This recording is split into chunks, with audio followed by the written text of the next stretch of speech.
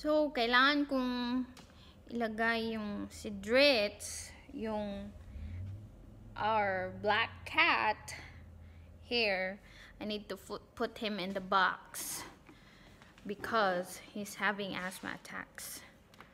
In the box because he needs to use the nebulizer. So, ito yung setup ng nebulizer namin para kay Dritz. Kasi may asthma si Dritz.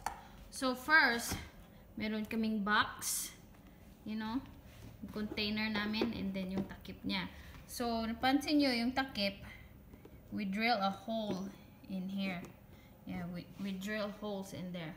And then, the container has a hole also for this one. Because we're going to put this in here like that. Ayan. And then, this is the nebulizer and then we just put it plug it in there and the hose ayan yung hose na ikakabit natin dito. This is how it works. So this is the nebulizer.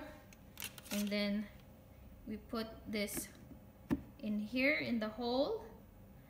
Yan and then we put our baby drits inside and put the lid on Okay?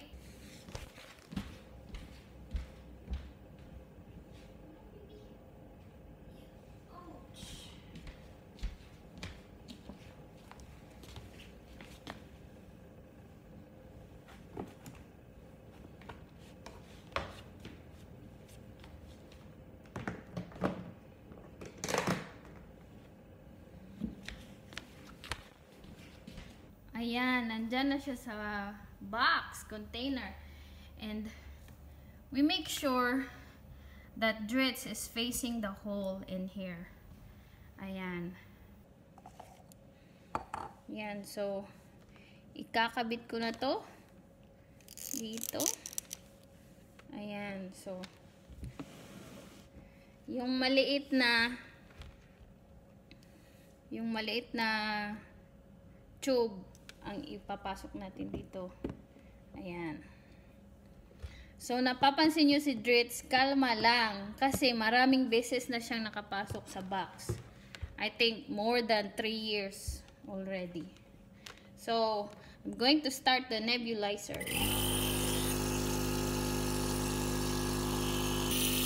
Ayan, nag-start ng nebulizer.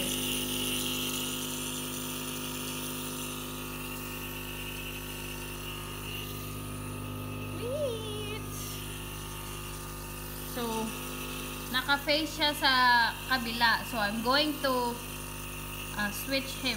Okay?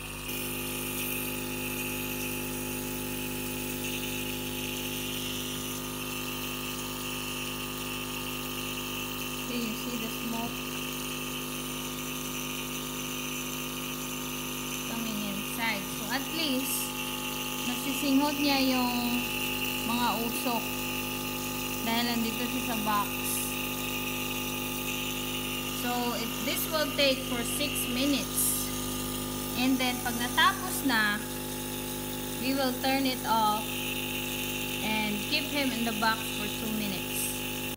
So, there, 6 minutes is done. So, I turn off the nebulizer and then I'm going to get this away and keep drits in there because you see there's still smoky in there inside so yung gamot niya nandyan pa rin sa loob so magsistay si drits ng around 2 to 3 minutes in there and then I'm gonna let him out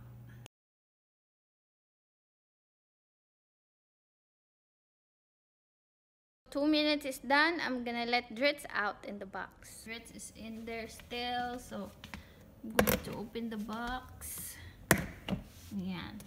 He is very calm because he's been in this box for many, many times already.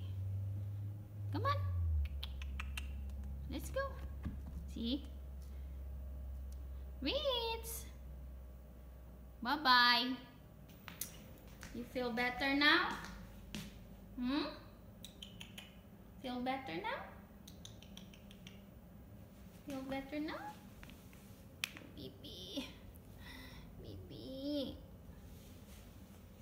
Think he feels better.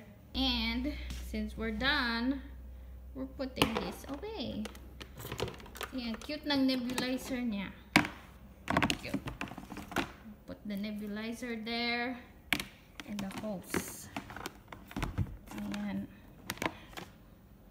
And we keep it in the room. So I hope this video, I think maybe some of you has have cats and I hope this video will help if your cats have asthma. So this is the trick that my husband did because ayaw na ayaw ni Dritz yung sa dito lang kasi gumaganon siya.